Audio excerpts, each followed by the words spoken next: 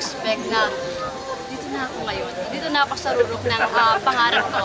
Um, since sa pagiging isang simpleng babae sa probinsya na hindi mo iisipin after ilang years nandito ngayon sa Manila. When I was in third year, na-milestone yung dad ko. Kaya nag-farm ako, nagbubukid ako, naging kasambahay din ako. Actually, my mom is also kasambahay. That's why um, I'm proud kung saan ako nanggaling. And I think ang maraming na-inspire sa kwento ko sa mga katulad kong kababaihan na nasa probinsya. And I hope na ah, ako yung magsimula.